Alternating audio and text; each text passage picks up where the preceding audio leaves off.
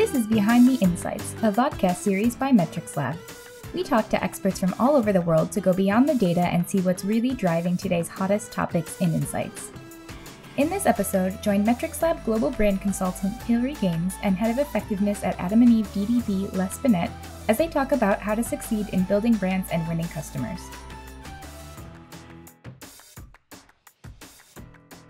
I'm Hilary Gaines. I'm one of MetrixLab's global brand consultants, and I'm the chief architect of our brand equity philosophy and brand tracking approach. I started in the research some scary 30 plus years ago um, as a part, actually as a part-time market research interviewer. And in those days, it was telephone and pen and paper surveys. And for me, what's been so exciting is to see how market research has evolved and developed over the years. Huge leaps in technology, in data science, in advanced analytics. And over the last decade or so, those real advances that we've seen in neuroscience, cognitive and behavioral sciences, that's helped us to really understand the human brain better, how it works. And for us, brand and communication researchers, it really advanced our appreciation of the myriad influences on consumer choice decisions. And um, I'm Les Binet. I'm head of effectiveness at Adam and Eve DDB, which is a creative agency in London, part of the DDB network. Um, and as head of effectiveness, my job is to measure the effectiveness of advertising and marketing, to understand what makes advertising and marketing effective, and to make it work better, to increase effectiveness. So I'm all about effectiveness, all about selling stuff, making stuff that works. Um, and for the last 15 years or so, I've been working with the IPA, that's the body that represents the advertising industry in London, um, doing some sort of general research into how advertising works. Um, um, with my colleague Peter Field, um, together we published uh, several books on advertising effectiveness, including um, the long and the short of it, which looks at how advertising works over the short and the long term. And I think the reason that Hilary and I are talking to, together today is that a lot of the stuff that Peter and I have found in the data gels with the way that MetrixLab thinks about how marketing communications work and how to make them effective. So, uh, you know, one of the key things, of course, is that the landscape of buyers today is so different even a few years ago, um, and it's ever evolving. So when we talk about the importance of growing a brand through penetration, um, as you know, we, you know, that underpins our philosophy, it does make sense because in today's world where there's so much choice, our brand and brands really are much less, if at all, differentiated in some cases. Loyalty doesn't deliver the sales growth that it historically once did. And so that new buying landscape has clearly posed challenges for brands to move away from often a very targeted marketing strategy. we've all seen brands with those target pen profiles, Lucy and Ben, etc., towards addressing a broad audience to drive brand penetration, getting more new buyers as a priority, um, and thus sales and growth. Les, in your effectiveness work, do you find penetration is always the main driver of growth? Well, um, by and large, yes. Um, so um, it's interesting. You talked about how how the buying landscape has changed so much, and you sort of like hinted at the idea that there was a kind of golden age of loyalty. I'd actually flip that on its head and say, um, actually, it's surprising how little has changed in in that aspect of marketing. Um, so, I mean, you know, the the the original work on how what drive uh, buying behavior and what drives market share and brand growth was done by Andrew Ehrenberg. His first work was done in the late 1950s. Mm. And, you know, he found in the late 50s and through the 60s and the 70s and the 80s and right up until now, the same patterns again and again and again in market after market, category after category, brand after brand. The main driver of growth is penetration with a little bit of extra help from loyalty. And that that was true in 1959 and it's still true now. Nothing has changed. There was no golden age of loyalty marketing. That loyalty rates haven't haven't declined. They just were never a main driver of growth. Um, so Ehrenberg's work shows that, Byron Sharp's work and the work of Ehrenberg Bass Institute shows that, and Peter and I have found exactly the same uh, patterns in the IPA data. It's really, yeah, really interesting.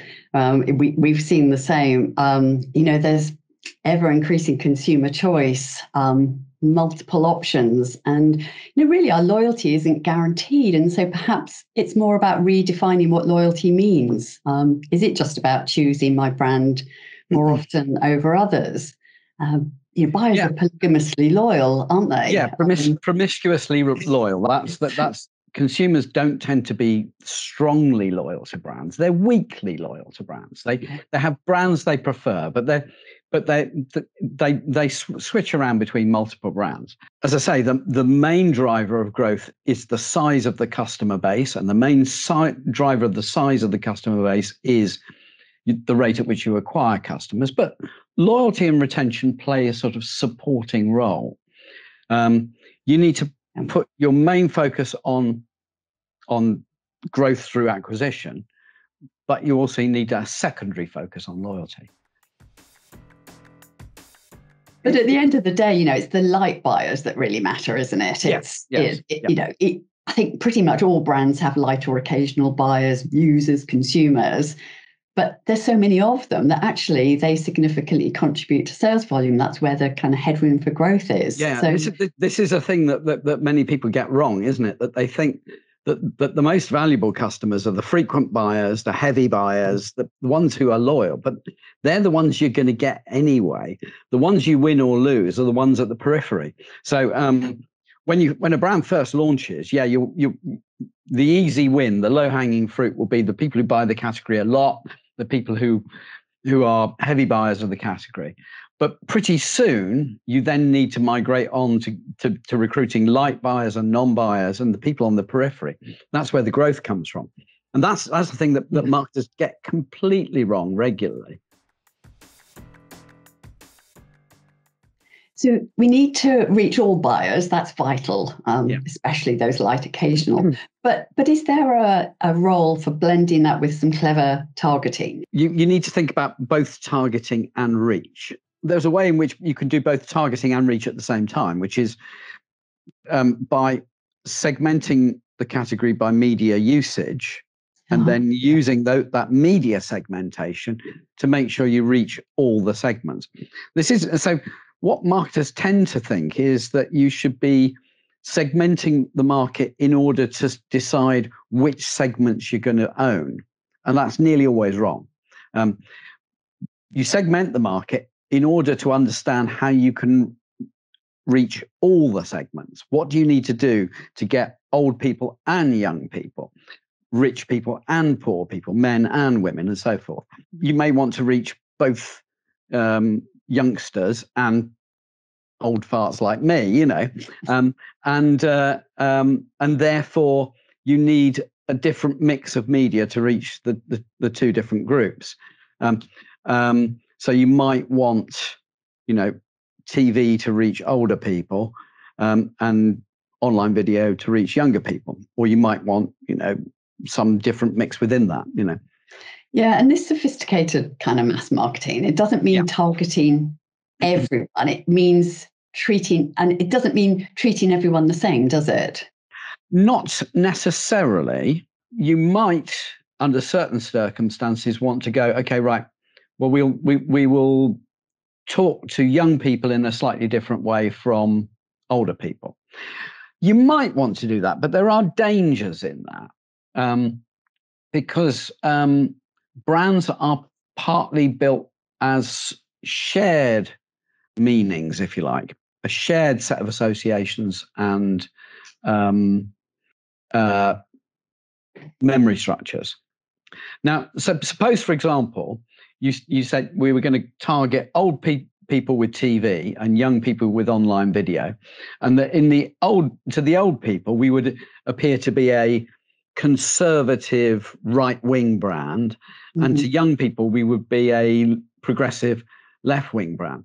What you end up is two groups of people who have no shared understanding of what the brand means, and if if they ever talk to one another, they will no, not have any kind of shared reference points for the brand.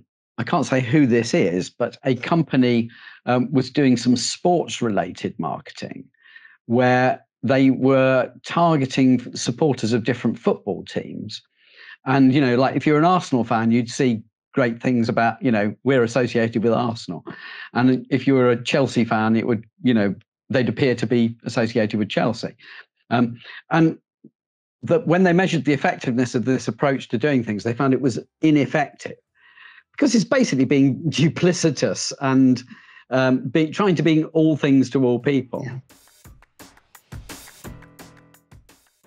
It's about inserting your brand into people's heads so that whenever your brand is relevant, whenever your brand could solve a problem, meet a need, whenever your brand is relevant, your brand comes quickly and easily to mind, and ideally, you know, before anyone else's does.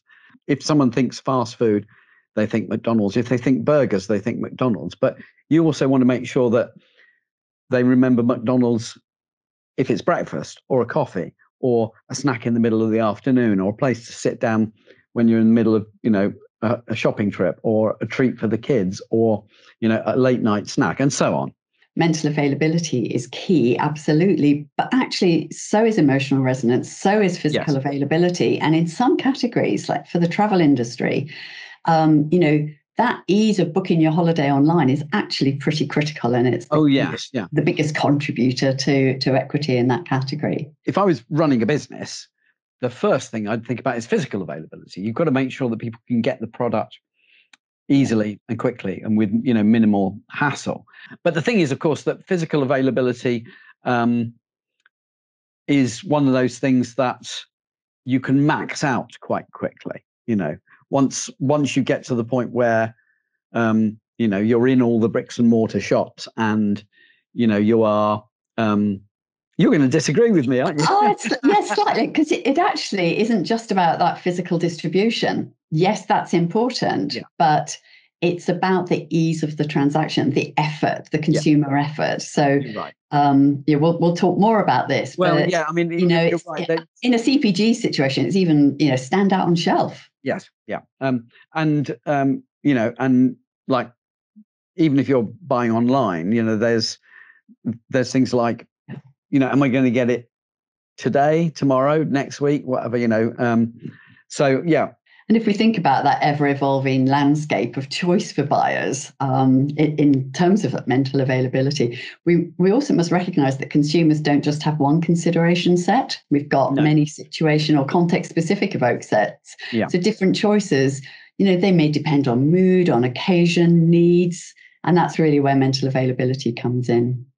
And I think, again, going back to targeting, um, we we tend to sort of spend too much time trying to target particular sort of pen portrait shoppers and not enough targeting particular kind of mindsets and situations and decision states mm. so you know um uh me and and a 19 year old are probably quite similar in a sense when we're choosing a coffee or something like that. But you know, it it it it, it it's not the differences between me and a 19 year old are not not so important. It's the it's understanding the state of mind of somebody who wants a coffee, somebody who wants breakfast, and, and so forth.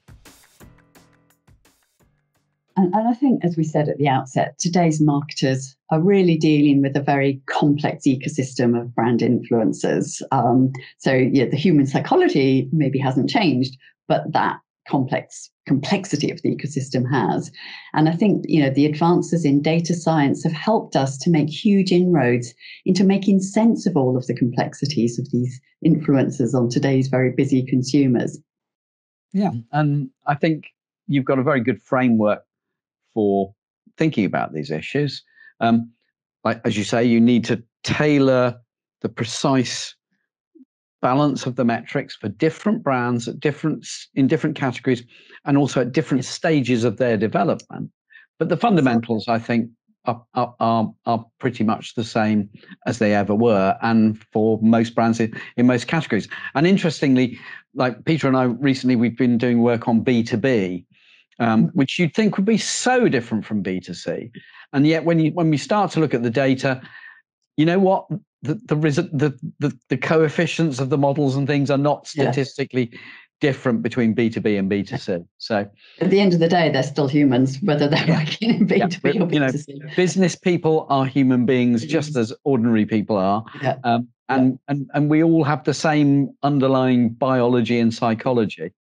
So um, it's human nature that that is at the root of of marketing, and that doesn't change.